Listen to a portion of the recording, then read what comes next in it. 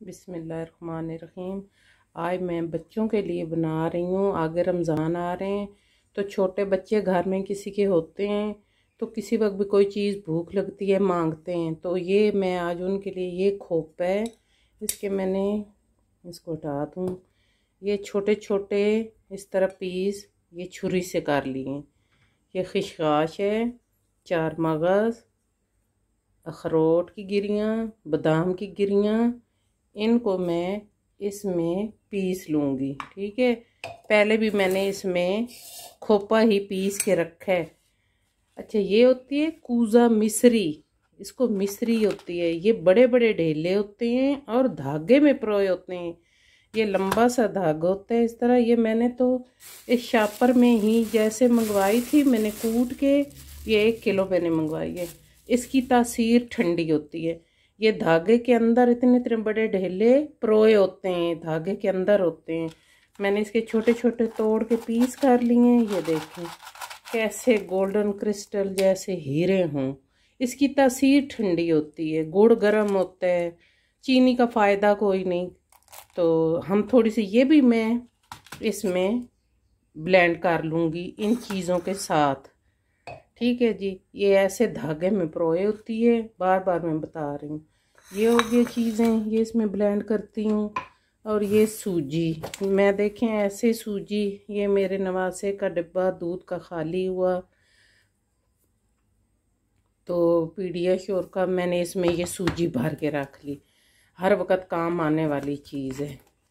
और इसमें तो डिब्बी में वो देसी घी पड़ा हुआ है। अच्छा। आज मैं सूजी इस कप से लूँगी। मिश्री भी इसी कप में से, ये छोटी सी कप है, थोड़ी सी मैं बनाऊँगी, फिर ऊपर से हम बच्चों के लिए चीज़ें सजाएँगे, खूबसूरत करेंगे। पहले मैं इसको, ये ड्राई फ्रूट को, सारे को इसको इस तरह पीस लूँगी। ठीक है। बहुत मज़े का बच्चों के लिए तैयार करेंगे आज। क्यों? किसी वक्त बच्चे कुछ मांगें तो घर में कुछ पड़ा हो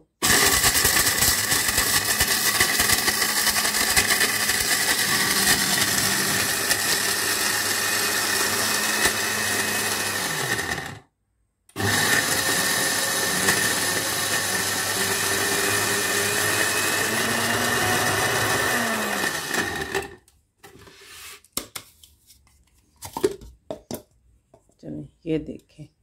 ये पिस चुका है।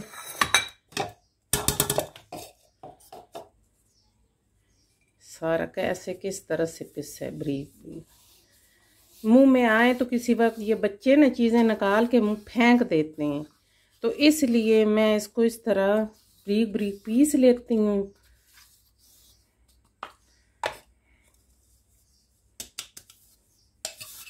और ताकत का ख़जाना। ताकत वाली चीज़ें बच्चों को दिया करें, बजाय बाज़ार की सलांटियाँ, पापड़, चिप्स।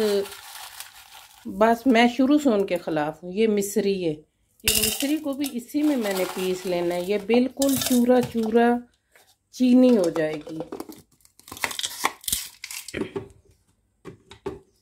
जैसे ब्रीक पिसी हुई चीनी होती है। क्योंकि मैं पहले भी इस्तेमाल करती हूँ। हर गर्मियों में मैं ठंडाई बनाती हूँ, शरबत बनाती हूँ, कोई ना कोई उनमें डाल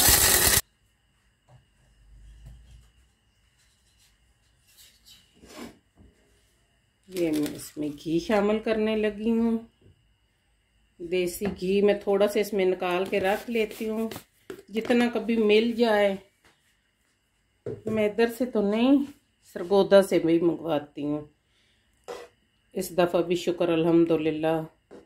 किलो एक दफ़ा मिला है, पाँच किलो एक दफ़ा मिला है, अभी फिर वो कह रहे हैं, तीन एक किलो जमा हो गया है। आगे मेरे रमज़ान भी अच्छे गुजर गए। हम पराठे, हलवे कुछ भी बनाए। अच्छा सिर्फ़ अब सीज़न नहीं है, गर्मियाँ हैं, इतनी भी गर्मी नहीं है। देखिए, हम कितने गोश्त खाते हैं फ़िश खाते हैं, हलवे खाते हैं, और चीज़ें खाते हैं, जैसे सूप फिर भी पी लेते हैं, कोई ना कोई। तो इसमें क्या हर्ज है? कि हम लोग ये बना के बच्चों के लिए रख दें कि तासीर ठंडी है। ये देखिए, गंदम के आटे से ही बनती है ना ये। अच्छा ये मैं डालने लगी हूँ, ये सूजी। देखिए, मैंने आधा कप सूजी ली है, क्योंकि वो बाकी भी चीज़ें काफ़ी हैं तो ये काफ़ी ज़्यादा बन जाएगा। ठीक है जी, आधे कप से थोड़ी ज़्यादा ही लिए। तो इसकी बुनाई करते हैं अच्छी तरह। जब ये रेड हो जाए, बुनाई हो जाए, फिर आपके साथ मिलते हैं। जी ना अब मैं इसमें ये मिश्री, जो पीसी है मैंने वो, ये ड्राई फ्रूट ये शामिल करने लगी हूँ। सूजी की बुनाई हमारी अच्छी खासी हो चुकी है। अच्छा मैं बताती चलूँ, जब सूजी की बुनाई हो गई थी, मैंने इसमें किशमिश और पिस्ते पिस्ते मैंने ब्लेंड नहीं किए थे, मैंने किशमिश और पिस्ते को भी इसमें डाल दिया था। अब बस इसको हमने मेल्ट करना है, अच्छी तरह से। ड्राई फ्रूट हमारा थोड़ा इसमें बुनाई हो जाए। अच्छा देखिए, हम अंडे खाते हैं, गोश्त खाते हैं तो वो भी तो ठंडी तासीर है ना। ये ताकत से भरी हुई भी रोटी पका के अब कोई टाइम नहीं होता बंदा बच्चों को रोटी बना दे मैं इसलिए ये बच्चे बहुत खुश हो गए। और फिर मैं इसको, ये साथ साथ इसकी बुनाई होती रहे। तो ये देखें। ये बच्चे बहुत शौक से खाते हैं। ये चॉकलेट है। ये मैंने इसमें से निकाल लिया आधा पैकेट, खोल के आधा पैकेट अभी ये आपके सामने निकालते हैं। ठीक है जी। हम इससे इसको सजाएँगे।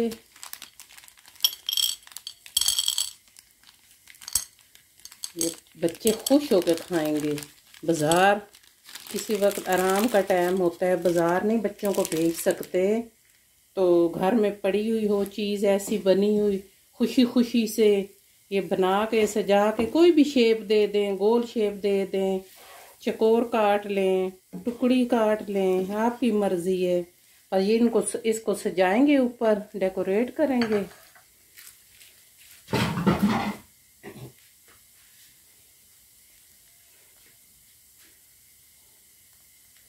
जब क्योंकि सूजी में दाना होता है। जब इसकी भुनाई साथ साथ हो रही थी, मैंने ये देखें, आधा कप दूध लिया होगा, इसमें से मैंने पहले दूध डाला है। तो ये ज़रा सा मैं और डाल दूँ।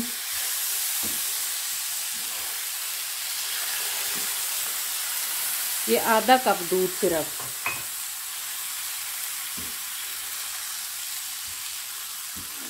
फिर इसको मैं किसी ट्रे में निकाल के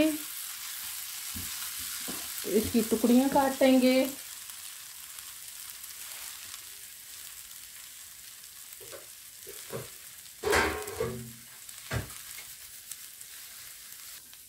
इसी चूल्हे पे ही मैंने इसको ट्रे को रख दिया क्योंकि ये कौन सी कांच की है या स्टील की ट्रे है, इसको मैंने अब सेट करना है। सेट करके फिर मैं इस पर वो जो चॉकलेट मैंने आपको दिखाई है, ट्रे बहुत गर्म हो गई स्टील है, इसलिए इसको मैं अच्छी तरह से सेट करूँगी और ऊपर ये सजा दूँगी। ठीक है जी, दुआओं में याद रखें, आप भी बनाएँ। अल्लाह हाफिज़। जी नाजरीन, ये देखिए, अभी ये है, बहुत गर्म हाथ नहीं लगाया जा रहा। मैंने बंटियाँ से ऊपर दबा दी हैं इसके। ये चॉकलेट बंटीस हैं, और जो शेप आप देना चाहें। मैंने ये बिस्कटों की शेप इनको दे दी है। ये कुछ मैंने काट ली हैं, ये देखें और बाकी जो हैं, ये अभी बहुत गर्म है। तो मैंने कहा, मैं दिखाती चलूँ कि आप किस तरह से इसको ऊपर सजाएँगे, काटेंगे? ये चार पाँच टुकड़े मैंने काट लिए हैं। ये देखिए। ठीक है जी, आप ही बनाएँ, दुआ में याद रखें। अब असल की अल्लाह हाफिज़।